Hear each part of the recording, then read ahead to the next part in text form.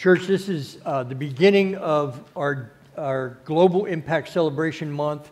Um, I know Easter was just last week. It, I know it feels like Easter right now, and, and that's all right. You probably received this little uh, uh, card as you walked in. If you didn't, uh, one of the ushers can get you one. All you got to do is raise your hand. What this has in it is this gives you an idea of the, the funding that we did on all of the different um, ministries that we are partnered with. You'll see that at the bottom of the page on one of the cards right here. And then you'll see the list in red of all the different ministries that we partner with and work with. So, and in brown, and the, some of the things that we did within those ministries, other than help financially uh, them. Target Dayton is one of them, and it's it's a blessing to be able to go down there uh, throughout the year and then also bless them uh, financially. But uh, uh, take a moment. This card, we'd like you to keep that throughout the month because in the coming weeks, you're going to hear other ministries. They're going to be on stage with us that we support. And at the end of the month, and we, uh, it gives us a chance to pledge together uh, to, to support missions throughout the, local area and throughout the world. And, uh, and that's what we do. Are you okay? Are you having church today? I am, man. I am, I am going to go home and take a divine nap after all this. this is over. I want to start this, this series out by asking a question. And the question is this When was the last time you felt God nudging you to do something? And the question is, did you obey? When was the last time that you felt God nudging you, and did you obey that nudging? The reason that we get nudges like that is because we were created by a God who gave us a missionary heart, a heart not to just take care of ourselves, but to take care of others. He gave us the, the two great commissions, the two statements in Scripture, Matthew and then in Acts, that we have. It's the mission. Go therefore and make disciples of all nations. James or Matthew 28, 19. And then also, and you will be my witnesses in Jerusalem, in Judea. Finish the sentence. Samaria, and to the ends of the earth. And that's Acts 1 8. This is the mission of the church. Now, missionary is not a word you're going to see in, in the Bible. It's not really in there. There's a couple of translations that use that word, but that is not the, the word that, that is meant to be used there. What, where we get the word missionary is primarily from the Apostle Paul, who did missionary journeys, and the other disciples. They, they were people who felt the nudge of God to go into unfamiliar places, to do unfamiliar things in the name of the Lord. They did not go because they were moved, they weren't motivated because they were moving closer to family. They did not go because they were, they were uh, looking for better living conditions. They didn't go for financial gain. Those were not the motivators to be a missionary. They went because of something else. There was something that happened in their heart. There was a, there was a move of their heart, and they followed it down what many have called the narrow road. They have followed it down the way of suffering for the sake of other people. I have, for the last 30 years, talked about the discipleship process in a person's life, the spiritual formation in a person's life through a picture. And the picture is called the ocean diagram. You'll, you'll see it right there. It is, it is just a picture. I asked the Lord, um, Lord, I don't know how to make disciples. How did your son do it? And then I dug into scripture to find out. And he gave me a picture, and he gave me six stages, six stages that represent people on their spiritual journey. On the first three stages, you see the person standing on the beach, testing the water, and then in kind of up waist deep. Their feet are on the bottom. Their feet are just on the bottom. In the first three stages of our spiritual development, we're sort of still in control. We can, we can step if we want to. We can take a step or we can stay where we're at. Stage four is a different stage. Stage four is a stage that we call the when your feet come off the bottom. When suddenly you are not in control and God is in full control of your movement and what you do. And, and at this stage, the, the begins to answer the question is there anything else to this Christian life, or have I seen it all and have I heard it all? Have I?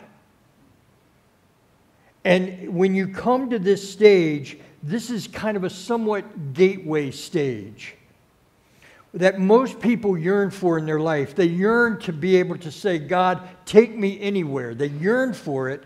But when that actually starts to happen, they have no idea where it's going to take them. And so they, they, they, they hover at that stage. And, and, I, and when people get to this stage, I see two reactions. People are exhilarated, they are fired up, and they are also terrified. They're terrified as to what is about to happen in their life. The stories in the Bible do not tell us what will happen when we allow God to take us wherever God wants to take us. The stories don't tell us that.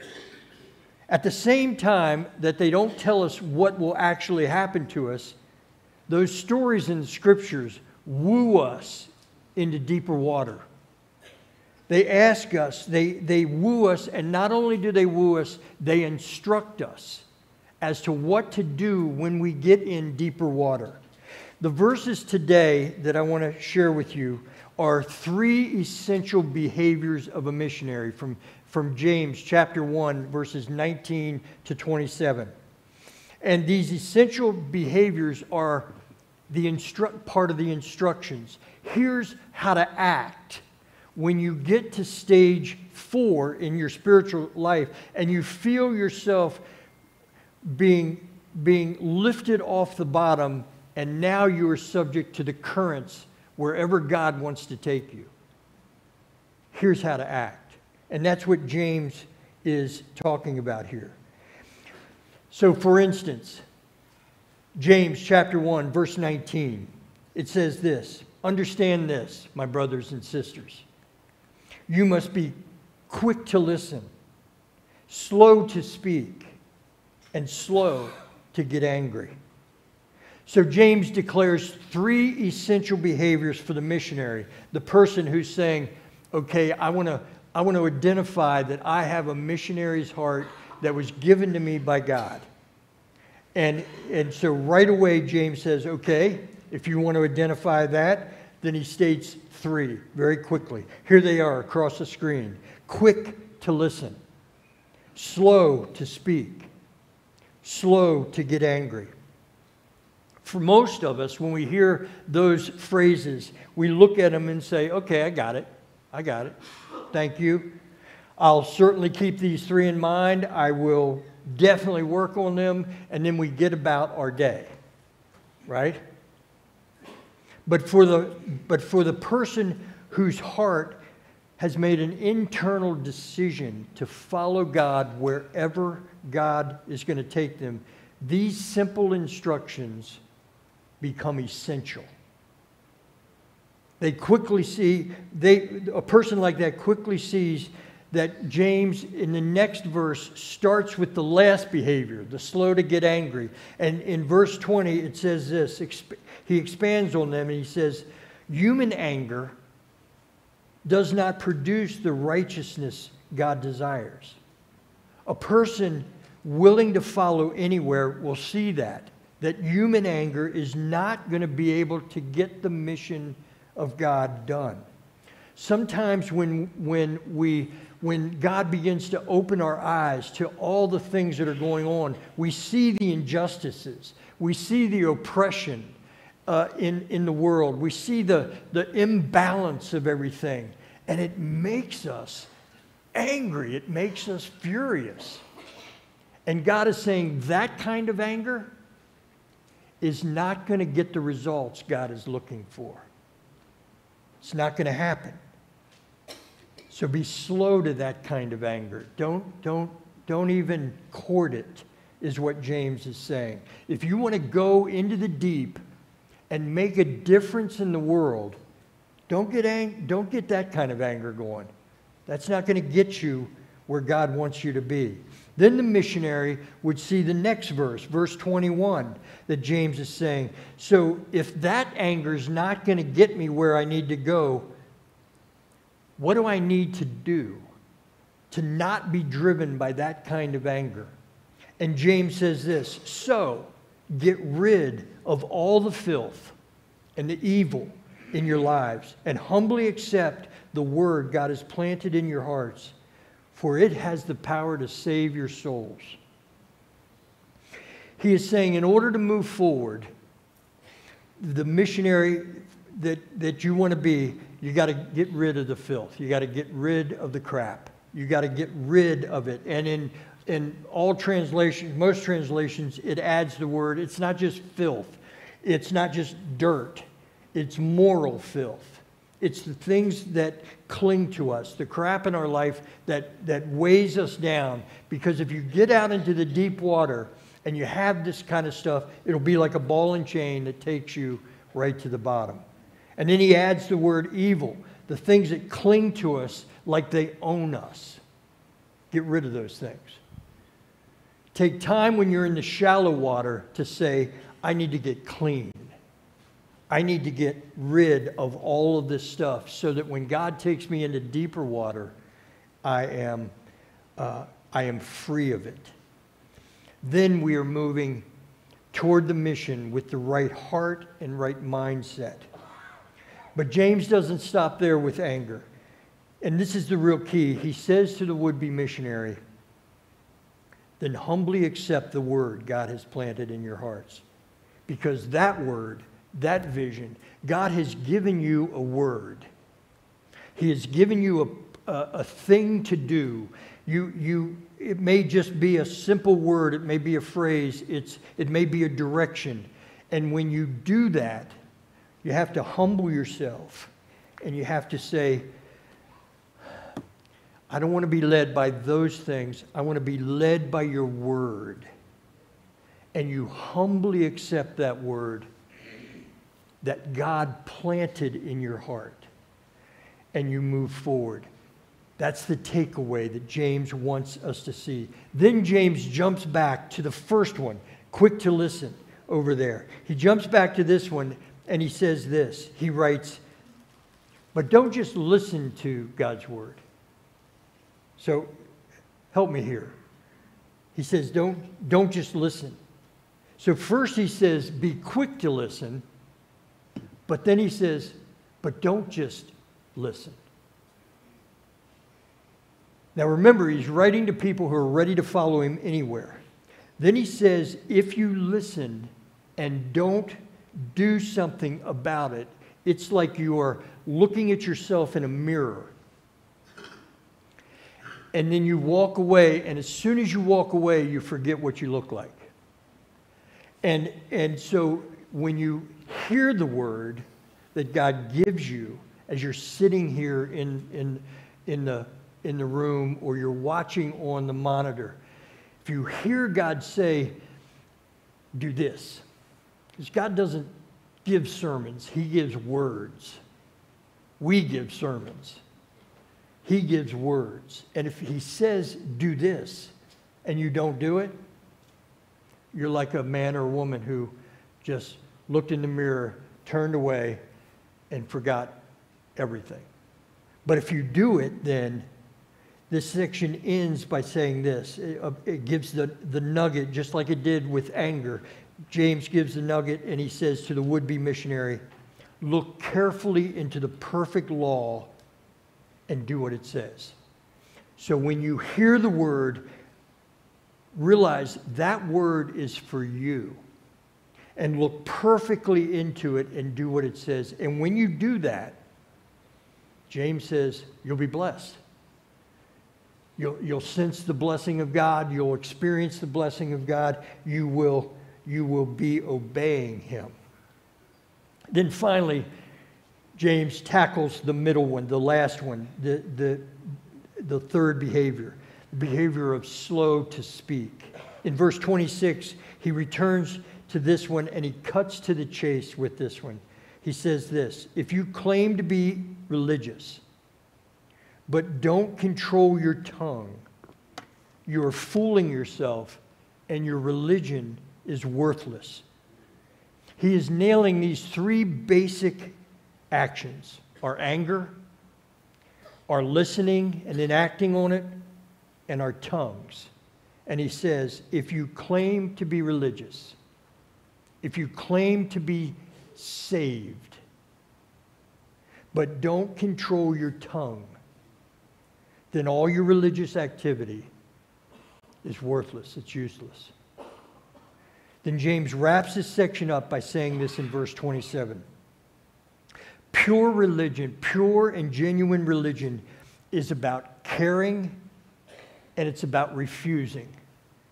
For James, caring was, was the orphans and the widows. In, in, in James's culture, the orphans and the widows were the, were the most, the least thought about group of people. And today, that can, it can be said for today as well. There's other groups that are the least thought about.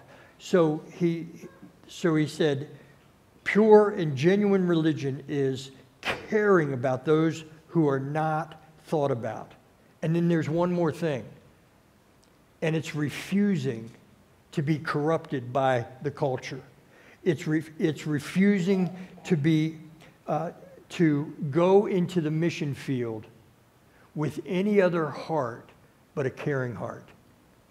Letting your anger go letting your speech trail off and your ears to tune in. I want to introduce you to a person who is daring to allow his feet to come off the, the ground uh, and follow God's calling. He started a ministry called Hope Beyond the Walls, and I'd like you to uh, welcome uh, Dustin Sampson. We have a mic? We have a microphone?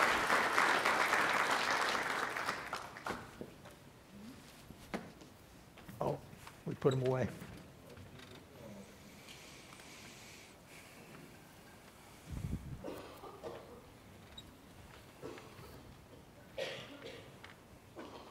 There you go. Dustin, are you going to sing for us? I don't. not, not, not, not today. today. that was that was just awesome. Okay, you, you've just, um, before we talk about your ministry, you've just heard the message. You heard those three behaviors quick to listen, slow to speak, slow to get angry. As you move into more and more um, involvement in this ministry that we're about to hear about, how have these three shown their importance, these three behaviors shown their importance to you? They are very crucial um, not only in my ministry, but in our everyday lives, right? Um, this all has to do with the relationship with God, with Jesus, right? That, that vertical alignment, um, being able, being aware of His Word and, and what He's calling you to do. Um, you know, uh, for example, um, you know, there's multiple times. Um, I'd, I'd, be taking Ethan to baseball down in, in uh, downtown Dayton, and you know we'll be passing somewhere on the highway or a restaurant and i'll drop him off. Like hey man i gotta go back man. I got a calling. I need to go head back to wendy's mcdonald's or i will be underneath the highway and i'll come back and pick you up there's somebody who needs something. Um, um, um, but yeah and then also even why the, the, slow to speak aspect is that's what we're called you know i mean in my ministry it's very uh, you know very important to be able to, to listen and hear what those folks um, are in need of. That way, you know, you're able to assist them, get them to the proper rehabilitation program, mental health clinic, or whatever it may be. And, and the ministry that you are uh, being called to is a ministry to people who need uh, drug addiction uh, help and, and to go into places where they are and to help them. And, and not only that, it goes beyond that. Correct. So for people who are just, have, have hit a bad, a bad place in their life and, and they need someone. And we're going to talk about that in a second, but you, but there's a story behind that that got you to this place. Could you share with us some of that story? Uh, most definitely. Uh, so I was born in a small town called Wheelersburg, Wheelersburg, Ohio. Um, single mother. Uh, my biological father struggled with uh, um, alcoholism and addiction. Um, there was uh, also other family members on that side of the family that uh, had other uh, addictions. So it runs in my, you know, in my blood. You know, my mom married when I think I was about five to my stepdad, which, you know, he's not my stepdad. I mean, he, this man is my father. Um, I, I would not have, um, you know, made it to the man I am, who I am today, obviously, uh, without his guidance and leadership as well. Um, so, grew up in Wheelersburg. I was a, um, um, had a great family life. Um, you know, I was a, a, a two-time All-American um, in two different sports. I received a, a college scholarship in baseball. Went on to play at Kent State University. Um, I played some independent professional baseball. After baseball was over with, I, um, I had my own baseball business for 20 years, a very successful um, day job in my baseball business. Um, I worked with Major League Baseball pitchers, um, college, uh, and, the, and the youth. But trying to uh, carry both a, a, day job and the baseball business was very hectic. And one day I just took off and I went to a, a restaurant. At that point in time in my life, uh, you know, I had tons of stress, so I started drinking a lot. Um, uh, and uh, gambling, you know, to, I used those as masks, you know, they were masking the, the pain and my stress. Uh, that's what I was going to, to hide behind, uh, reality. Um, so I met this man at the restaurant. He said, Dustin, man, you look tired. He goes, looks like you need some energy. How about, why don't you try some of this cocaine? So I said, sure, why not? So I gave it a shot and pow, uh, you know, uh, that's the end of it right there. Um, I ended up, you know, I was spending, you know, two, uh, over $2,000 a week just on cocaine. Um, I mean, I was going 24 7. The guy was delivering stuff to my front door. I'd wake up, you know, or even if I slept. Um, um, so that's, that's kind of where I led off. Um, and then one day, um, you know, and my wife at the time and son came home, found me passed out, drugs all over the place, and instantly she kicked me out. My family shunned me. Um, all my friends and family didn't want anything to do with me. Um, you know, I was a liar, I was a thief, I was labeled, you know, they, they had to throw those labels on me. Um, and so I started, I was homeless. I was living underneath highways, uh, living, uh, you know, eating out of dumpsters, trash cans, you know, stealing food from restaurants. Um, I was, uh, man, I was hopeless. Um, you know, I, I, I, felt I wasn't worthy of anything. Um, I tried to commit a suicide, tried to kill myself twice. Um, obviously, somebody else had uh, bigger plans. so that's kind of uh, where it ended. I found myself to a uh, faith-based rehabilitation program in Piketon, Ohio and that's where, uh, you know, I met the Lord.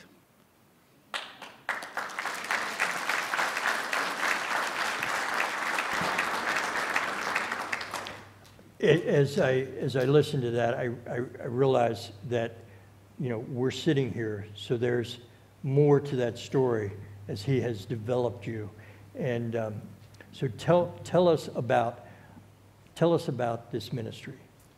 Okay, so uh, once I got out of re, uh, rehabilitation, um, I was living in Wheelersburg, Ohio. Um, I had my own place and had a, had a job, and was, my job was in Chillicothe, which is kind of halfway in between Columbus um, and um, where my, my son was. So one day I was on my couch, um, and man, I was just reading the Bible, and you know, it's all in, in tune with, with the Lord. And the Holy Spirit came over me and says, Dustin, it's time, it's time to go.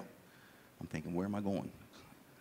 Um, and days later, um, you know, I, I, got the calling. I, he says, it's time to move to Chillicothe. It's where your job is. You need to get closer to your son.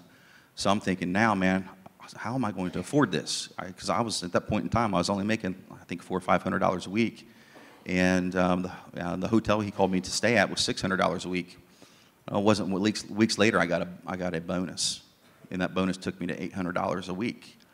So I'm thinking, all right, he's still calling me. So I up and did. I mean, I sold, I got rid of everything in my apartment within weeks. Um, I said, all right, Lord, I'm going to trust you. You know, how am I going to function off $200 a week, but I'm going to trust you. Um, so I moved to this hotel, and it wasn't within days. I'm sitting there reading the parable of the Good Samaritan, and the Holy Spirit comes over me and says, Go feed my people. I'm thinking, okay. So I seen some homeless people across the street, across the street, and I was like, all right, I'm gonna, I'm gonna throw everything I have in here for the rest of the week, and I'm gonna take it over and I'm gonna feed them. That's, that's what he wants me to do. So I did.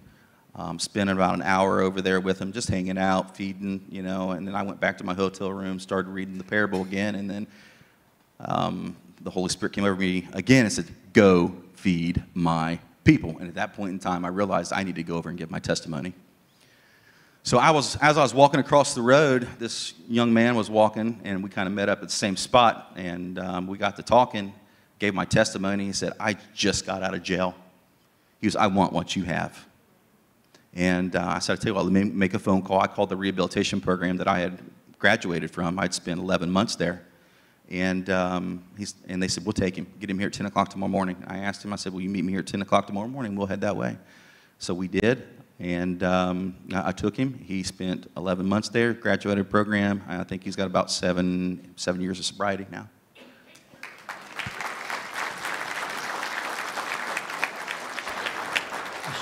Stories just keep rolling out. So what, what has God called you to do, and where do you want to take this ministry right from, from, from here on? Where's Okay. it, where's it seeming like it's going? I need an army, folks, right now, because it's just me and my family. You know, um, throughout the years, I've developed relationships with 22 different rehabilitation programs in the state of Ohio. Um, I had a rapper reach out of Detroit, Michigan. I've done podcasts with. So I've helped people from Florida, California, Iowa, Texas. I've helped people all over the country. I've had people call me from prison. Um, it's weird getting a collect call from prison, you know. Um, but wanting, you know, to get in, straight, go straight to rehab as soon as they get out of prison or jail. Um, so that is, that, that's where he's calling me. But he's, more importantly, he's calling me here locally. Um, to, and that's what Hope Beyond the Walls is. That's why he brought me Hope, Hope Beyond the Walls. Um, you know, since I, we've been here four months, five months, something like that. Um, to get more um, active within our community um, not just here in Tipp City with outreach um, events here, but with my go bags and getting um, more involved in downtown Dayton and hitting those who um, you know are in need. Um, so I do go bags. I do summer go bags. I, I was homeless in the winter and summer, um, so I have both experiences. so in the wintertime, I do toboggans, we do gaiters, we do gloves, we do hot hands, water, uh, protein bars. Um, and I am going to incorporate flashlights because um, I remember when I was homeless up underneath, you know, I, like to read at night because um, that way, that's, that's when, you know, you, that brain really starts going, uh, you know, um, that hamster won't stop. And uh, those bad thoughts really get you. Um, summertime, um, uh, it was, was, more important to me because wintertime, you know, you don't, you know, the perspiration's not as bad, so I didn't shower as often. Um, but summertime, I do washcloths, uh, body wash, um, water, sunglasses, uh, sunscreen, hats. Um, yeah, like those, those type of items. So how, how does a person become part of this ministry? How do, how do they get involved? Um, well, we have, um, after service, there's going to be a sign-up list. Um, you know, I, please, I have business cards. You can reach out to me. Um, you know, I, I, want to put together a group in, in, in, in, the GroupMe. I want to put together a Hope Beyond the Walls messaging system. You know, um, because you know my wife and I we have five kids between the both of us, and we're constantly, you know, um, from 15 to two years old, and the terrible twos are here. So it, life is kind of hectic, you know, with two boys in travel baseball, and we're flying, we're going all over the country with, um, you know, Midwest with them at all times. I want to keep this going right now. You know, I, I don't, I'm, I'm, not hitting my goals. So I need an army. There, these people, my people, we need, we need help, man. I mean, I remember when I was on the streets and, And uh, the biggest thing that I hear while I'm, you know, when I'm out there, it's when I hand out one of these go bags, it's, it's thank you. They're grateful for those, but it, most of all, it's thank you for the conversation. You know, and that's that was the, the biggest thing with me. You get these stares from people as you're passing a gas station.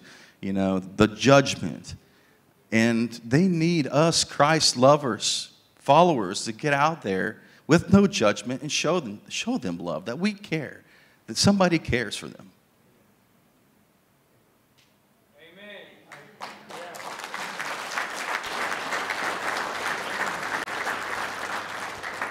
I'm going to invite everybody that's listening.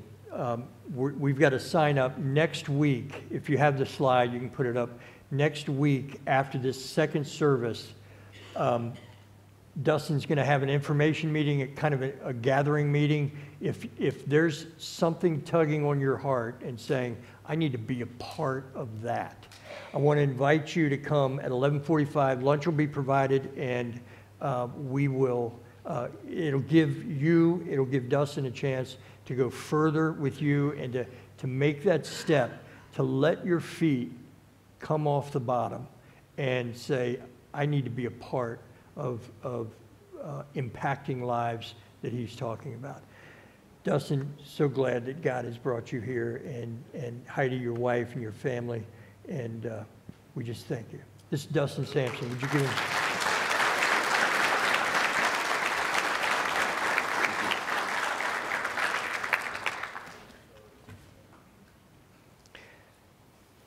Right now, we are going to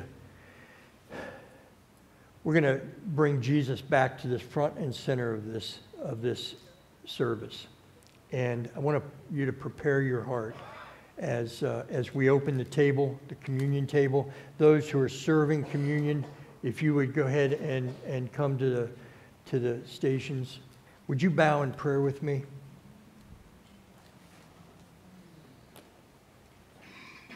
Heavenly Father, just prepare us right now. Our emotions have been all over the place. I know mine have today. I just, just, I love you, Lord. I see you working in people's lives, and it just, it just wrecks me. It just wrecks me. And I thank you for it. And as we come before this table, prepare us to receive your body and your blood. In Jesus' name, amen.